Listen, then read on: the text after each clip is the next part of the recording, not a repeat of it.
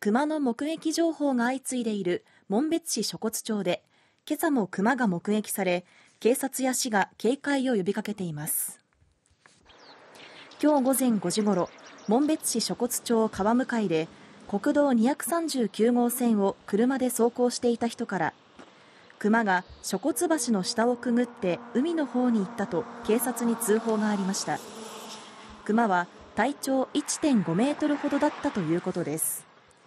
さらにおよそ40分後車を運転していた別の人も付近の河川敷から堤防を乗り越えて北西方向に移動する熊を目撃しました。警察によりますとこれまでに熊の痕跡は見つかっていません。